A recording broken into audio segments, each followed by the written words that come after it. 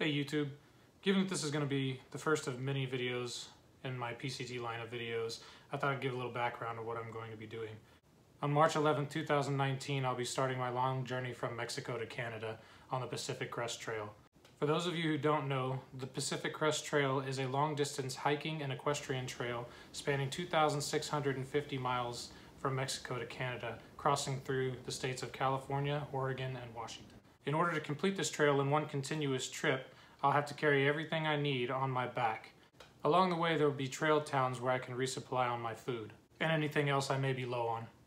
I'm making this video to show you the gear I'll be using to survive on the trail that may take anywhere from four to six months, depending on my abilities and the weather. So without dragging this out too long, let's get to the gear. Starting out with arguably the most important piece of gear, this is my Lite AF 40 liter curve custom backpack made by Chris at Lite AF. It has a 40 liter main body capacity plus side pockets for water bottle and for me my cook system. It also has an extra large hip belt because I am not a small person with two extra large hip belt pockets.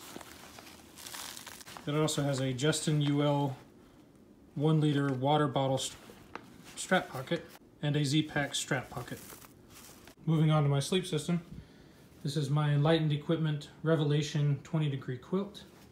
A Z-Packs duplex tent. I got mine in the spruce green. It's a little bit heavier Dyneema, which I wanted for the durability.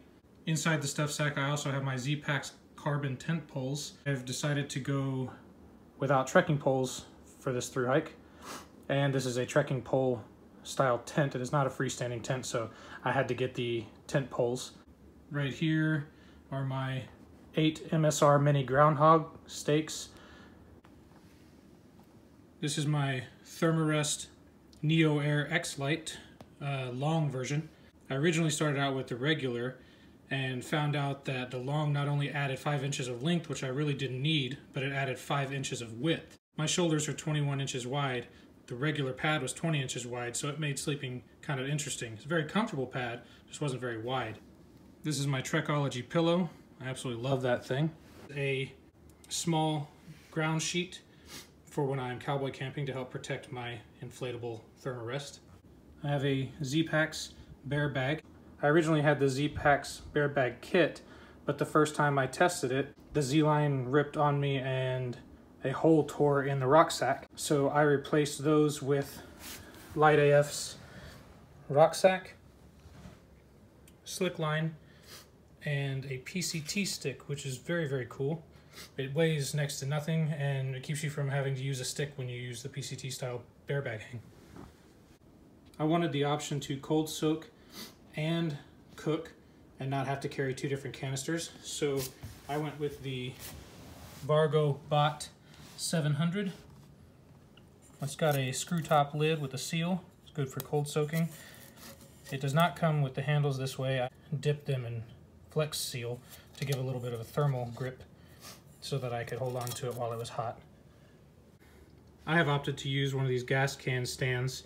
It adds less than an ounce and it fits right inside my pot so it doesn't hurt me at all and it's nice to have the stability. I am using the Snow Peak titanium spork.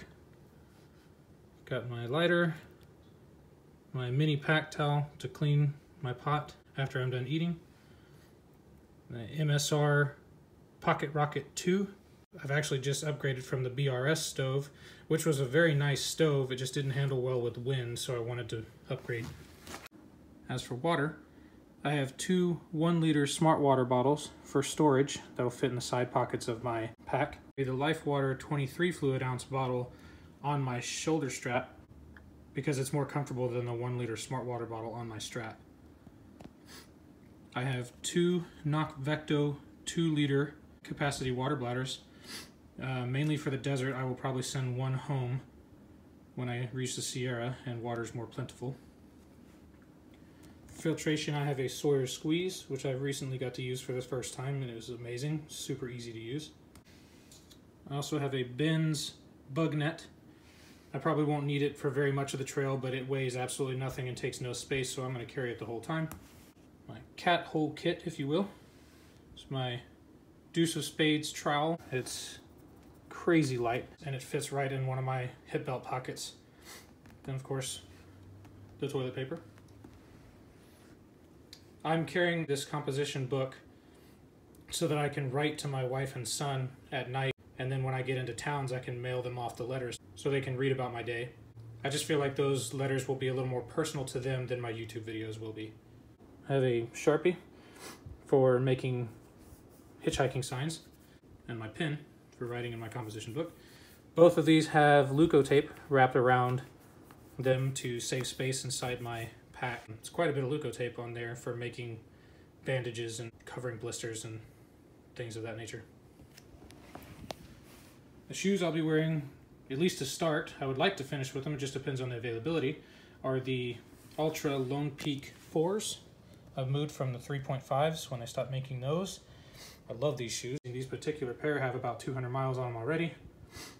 They're decked out with lock laces because after the first hike, having to bend down and retie my shoes four or five times, I decided lock laces were a great investment and I will never turn back. We have my Sun Grubbies UV protectant umbrella for the desert. We have a Cole wind jacket for when it's not quite cold enough to wear my puffy and my rain jacket's just a little too hot. I have my Outdoor Research Helium 2 rain jacket. My Z seat for comfort.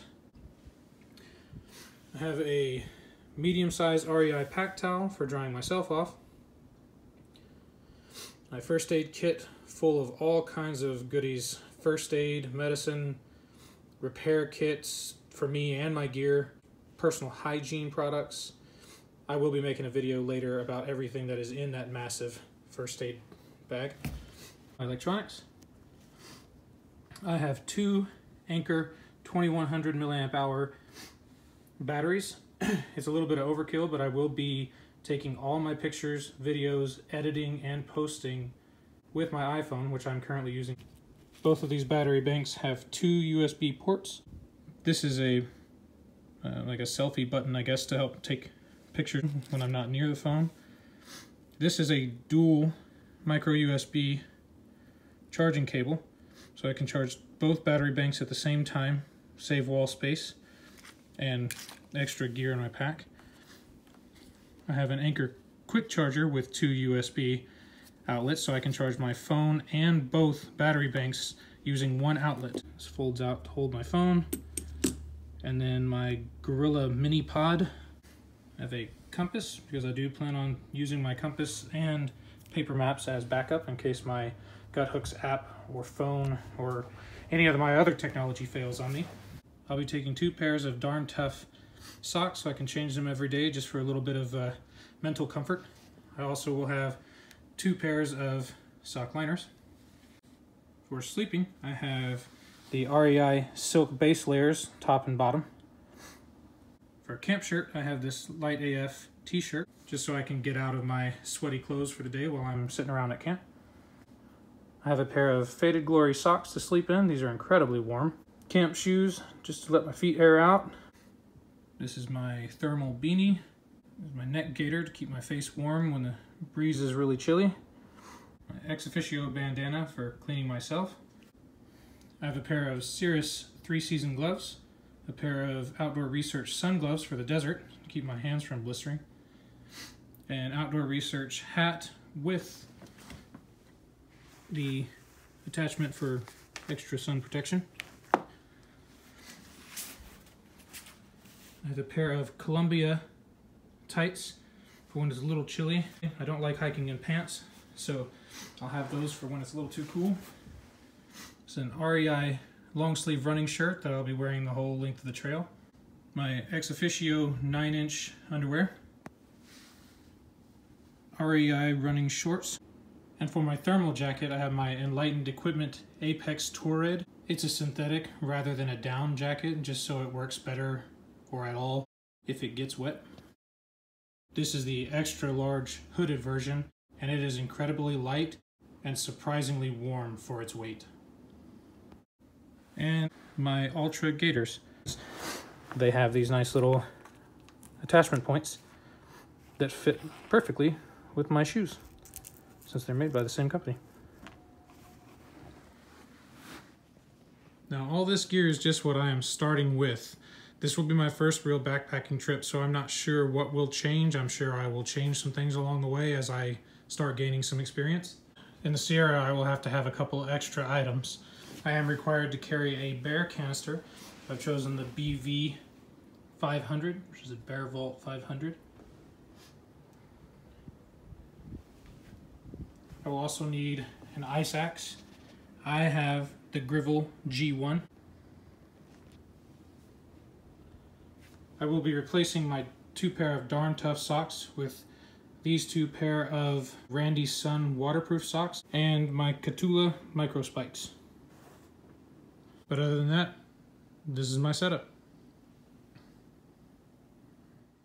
So I hope you guys enjoyed getting a good look at all my gear. Like I say, I'm sure some things will change, I'll add, take away, as I start to gain more experience on the trail. That's all I really have for you guys right now. For those of you who are interested in how I get all of this stuff in my pack, I will be making a future video showing you just how I pack all of my gear to make it all fit comfortably. There are a couple pieces of equipment that I didn't show in the video because I haven't received them yet. I haven't purchased my Garmin InReach. I'm waiting on that one. A cheap pair of sunglasses that I'll pick up in California before I hit the trail. And my anti-gravity gear rain pants, which are still in the mail. Thanks for watching, and if you're interested, I will be documenting my entire through hike of the PCT and will be posting to YouTube as often as I can when I get proper cell reception. Till next time.